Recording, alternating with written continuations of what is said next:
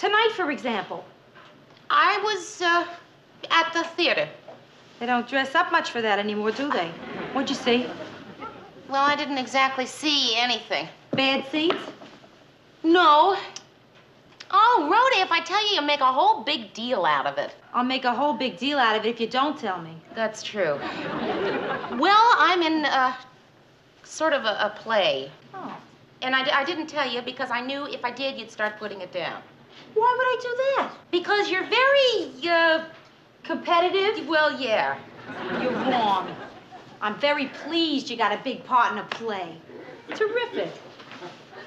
So what did you have to do to get it?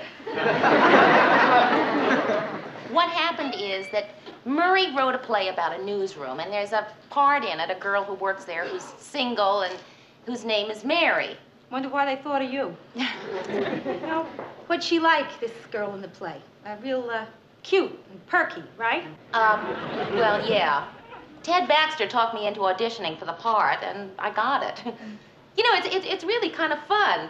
I'm having a lot of fun with it. You know, Mary, I've had quite a bit of theatrical experience myself. Oh, really? No, I didn't know that. Barbra Streisand and I went to high school together. Uh-huh. We did. Well, not exactly together. I mean, she was there three years after I was. but it was definitely the same high school. Well, with all that uh, theatrical background, then you undoubtedly know it's not all tinsel and glitter, right? I mean, Rhoda, look, I do have to memorize this play by day after tomorrow, so Oh. You know, Mary, it gets uh, lonely at the top.